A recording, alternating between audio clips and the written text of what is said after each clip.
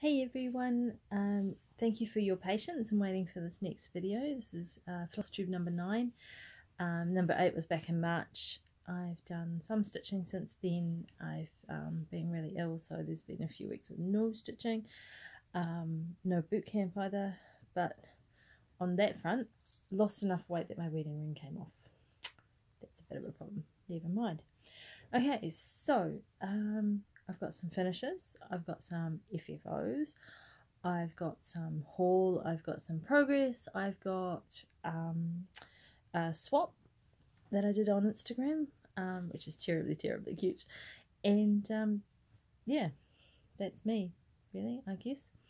So, um, we start with, I guess, um, some progress? Here we go.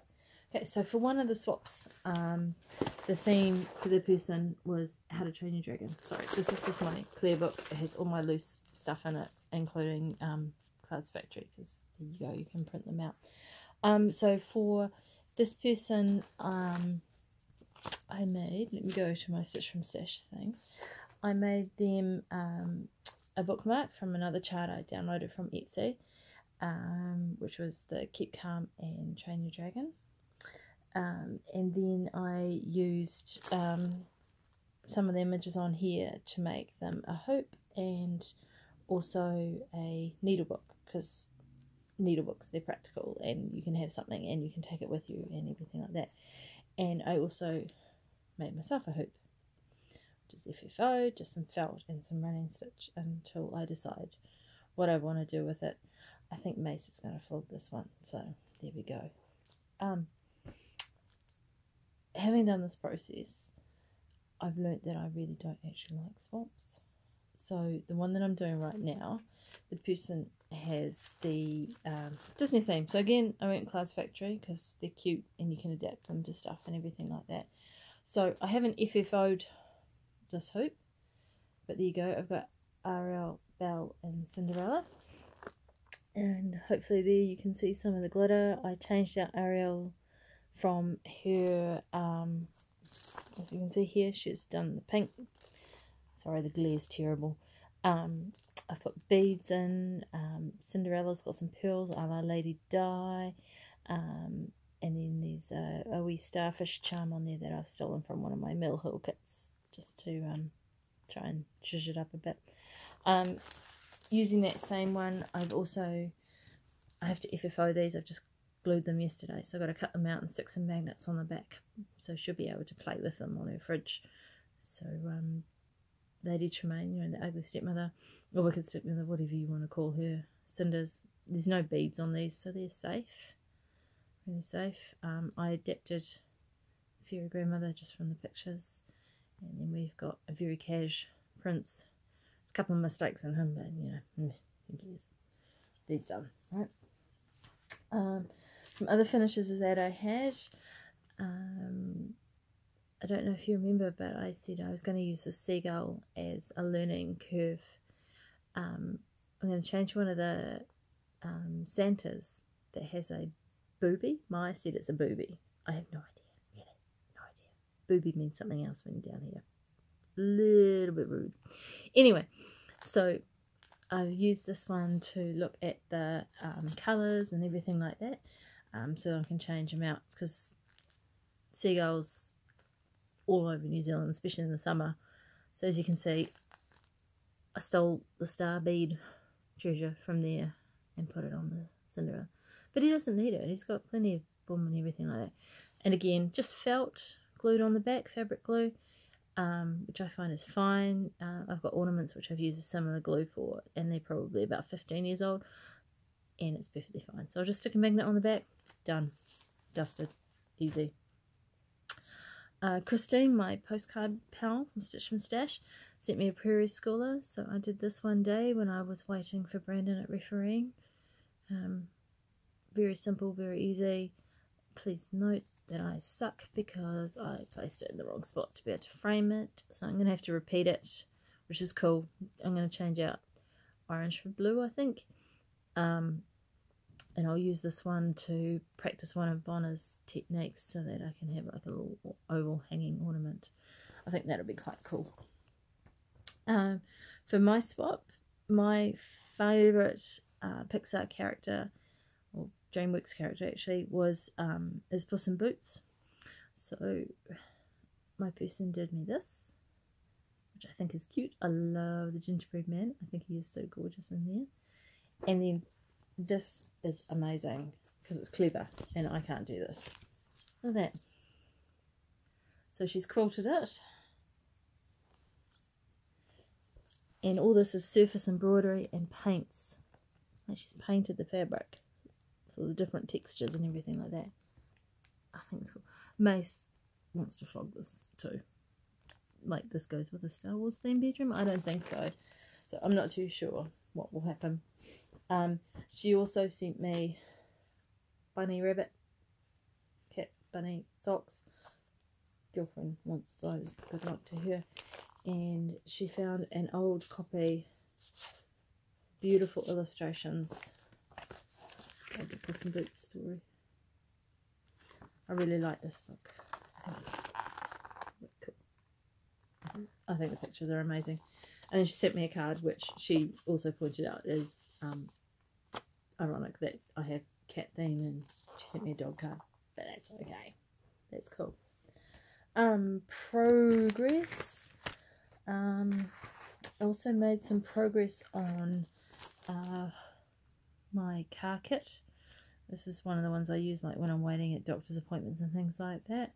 Um, so he's now um, got a face, got all of his coat, and just about finished the letters. I think there's like about two or three stitches in there. So that one there might be a might be a May finish. Don't know, depends. We're going away for a car trip this weekend, but I'm actually thinking of taking something else rather than him. Although I would get him finished. It's quite tempting. Hmm. Weigh that one up. I'll leave him out. Um, for um, March. Oh no, it's going back a isn't it? Um, in Stitch Mania, it was Teresa Wentzler month. Um, this is my main Teresa Wentzler piece. It's a kit which I bought for myself in Christmas 2006. I know, I know, it really should be done by now. Like it really should be done by now. I'm very grateful that I had the foresight to make working copies because um, I don't know if you can see. I don't want to show you too much. Mm, you're not actually going to be able to pick up much of the chart at all, eh? But look at that, fold lines. You get blank on the fold lines, people. Always make at least two working copies if you're going to stash something for that long. Or scan the chart so you've always got a copy of it stashed away somewhere. Because you can always delete the file, you know? Or it's on the cloud, or it's on your tablet, or whatever. Don't share, people. Don't share. Anyway, so my goal for the month was to work on that top border and get some more done because it's killing me and I'm it really is. It's putting me off. So I did some of that um, obviously as you can see I had some extra thread links. I started doing some of the diagonals. Um, I found lots of gaps so it was well worth it. So like he is cool. I really do like him. But I've got to be in the mood to work on him. I can't just pick him up either um, so he's now got Velcro so he can attach to my frame, which is good, much better, much better than stitching um, something that's this intricate in hand, or um, and I hope that's my opinion anyway. Um, round robin pieces arrived. Uh, this is Julie's. Um, her theme uh, is the Nora Corbett um, Pixies. This is huge, and I'm not getting off the bed to go backwards so you can see everything. You get what you get, people. So I'm doing Emmy in the middle, and the reason I'm doing Emmy is purely because my husband liked the colours. That's it. So that one is quite cute. These are ones which I won't do. We don't do Halloween very much down here in New Zealand. So as you can see, that's my one night start. And I'm having to do this in hand because I'm too lazy to take Persephone off my big frame still. She's sitting there in the corner. She's looking at me. Should have rolled her face up. Um. Anyway, that might be one of those ones that I'm talking about in like 2030. I started this project back in 2014 and it was da da da da da da da. Yeah. it could well be like one of those projects. Um, I have an FO, and it is a big FO and I'm so pleased with that. So for April, once I'm looking at my planner here, sorry. So once I got my How to Train Your Dragon pieces done, your nose, um, my main goal was to get the stitching on Mermaids of the Deep Blue finished. Because I had the beads, most of the beads, I've actually ended up going shopping because I needed about two meters more Kreinik. Um, and um, I changed out some of the beads. And it's just personal preference and it's just because I changed the colour of the fabric. So, I ended up finishing it which I'm so pleased. So I haven't ironed it yet because I haven't written my name on it and I haven't taken it off to the framers. The road where the framers is um, has an enormous amount of roadworks now and it's crap to drive down. And I didn't feel like taking 25 minutes to drive something that would normally take me two. Yes, it's that bad, people. So I haven't put my initials on it, so I know that I can't take it to the framers yet. But I'm so pleased. They have so much bling in them. And this is with me cutting out some of the bling as well. So, because I think there is more than enough. And every time I look at it, I'm more and more and more in love with it. I am so pleased to have finished this one. So it's Mirabilia Mermaids of the Deep Blue. It is on 28 count Raglan Surf Blue from Country Stitch. Um, if you look on um, Catherine's website, which is countrystitch.com, I think, um, even though she's based here in Wellington in New Zealand. Um, she has, she's brilliant in the way that she has the DMC equivalents next to the different types of fabric. Because, of course, you know that fabric dyes a different colour depending on what it is, whether it's linen or Aida or Lugana or another type of even weave. So, you know what? You know what you're going to get, which is, to me, that's enormously important. And I have two FFOs and they are massive FFOs and this is only because I got my bonus so I could afford to get them framed. One of them is my very first Nora, um, which got me on this back into stitching and everything, and that's Santa Sleigh.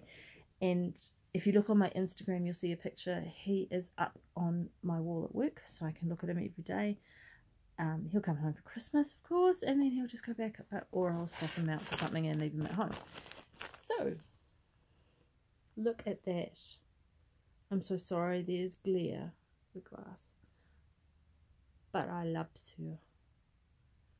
Um, she's on 32 count EF Sirens Flare, which when dyed ended up kind of like a 34 count. Um, it was a bit of a struggle to get some beads in, which is now why I do what is initially a 30, uh, 28 count because it works out to be a 30. Um, obviously, I've changed out these beads because they're teal in the original, and teal on this fabric was going to be shite.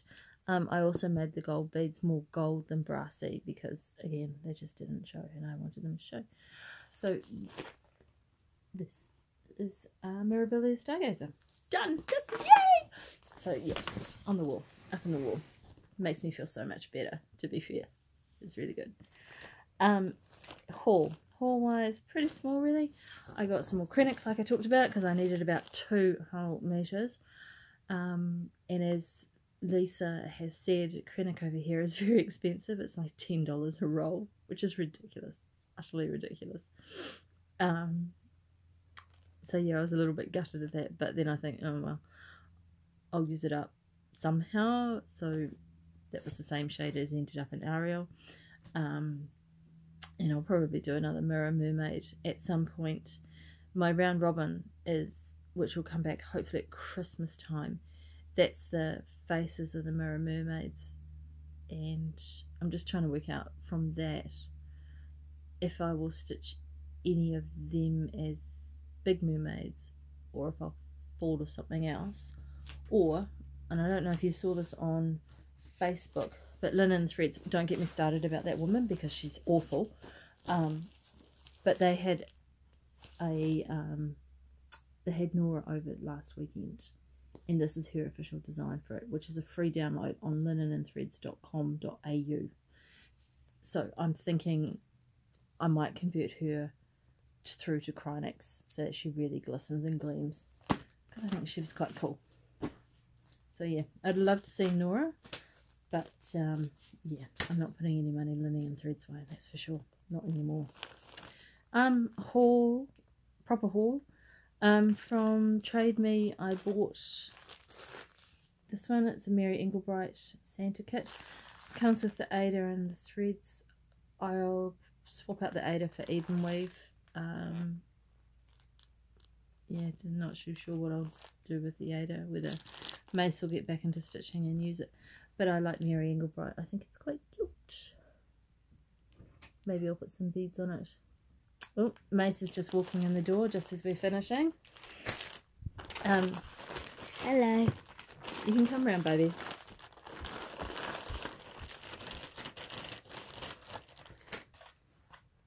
So this is my Mason in his school uniform still.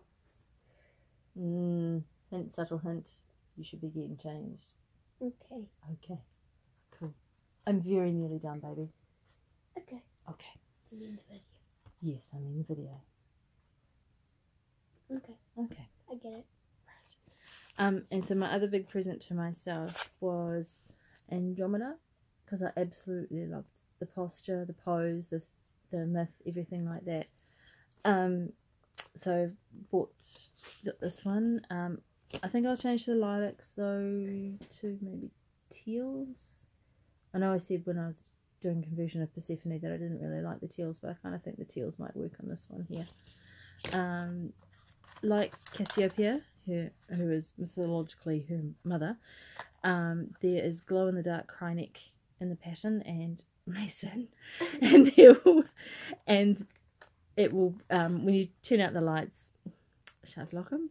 When you turn out the lights, you'll see her constellation, which I think is quite cool. And there's obviously another greeny Kreinik which unfortunately was not the two meters I needed for the other one. Boo hoo. Um, bead pack, obviously. Uh, so yeah, I might have to change out the lilacs if I decide not to use the lilacs. Um, to be fair, I haven't made myself a working copy. Haven't done a floss toss yet. So this is again 28 count Lugana. It is from Country Stitch, and it's called Antarctic Storm, and it's a, got a little bit. I haven't even opened it yet. It's got a little bit of a mottle, not not a lot. I'm not a massive fan of of huge mottles, so all it had to be was um, it is the 19.7 by 15.7 inches, so it's 50 centimeters by 40 centimeters, and I think she should look quite nice on there, really. Have, have the photo out. So, yeah. yeah, I think that should look nice. So, after I finish Julie's Round Robin, that is the next big thing, isn't it, Mase? Mm-hmm. Mm-hmm. What's this? So, yeah. This one? That's the book, which I didn't show you because I didn't want you to flog it. It's gone now, people. Anyway, Okay. I hope this video has found you well and that you've uh, enjoyed it. Um, yeah, take care, everybody. Bye. Bye.